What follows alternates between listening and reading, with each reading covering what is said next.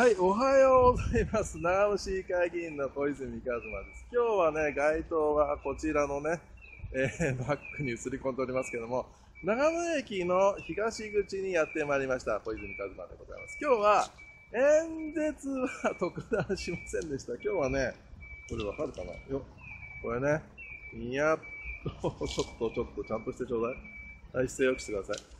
あのね、丸見え通信の第2号を作りました小泉の街頭で、一生懸命 手渡し、手渡し、手渡しをさせていただきました。もらっていただいた方、本当にありがとうございます。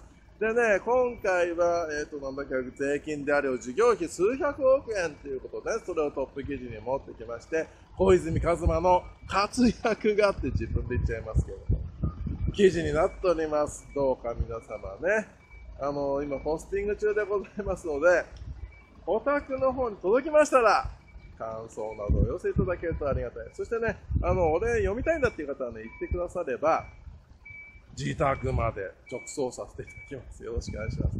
それでね、あの、小泉一馬からコマーシャルですけども、今月7月の23日の1時から、小泉一馬の報告会させていただきます。